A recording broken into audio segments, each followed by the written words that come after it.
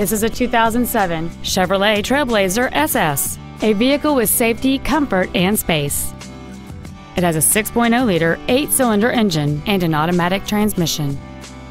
Its top features include a limited slip differential, aluminum wheels, and traction control and stability control systems.